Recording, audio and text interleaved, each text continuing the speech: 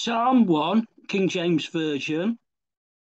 Blessed is the man that walketh not in the counsel of the ungodly, nor standeth in the way of sinners, nor sitteth in the seat of the scornful.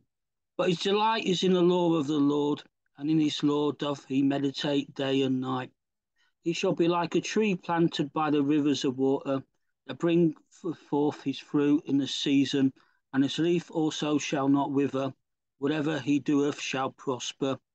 Ungodly are not so, but are like the chaff which the wind driveth away.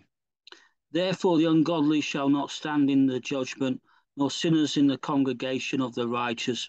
For the Lord knoweth the way of the righteous, but the way of the ungodly shall perish.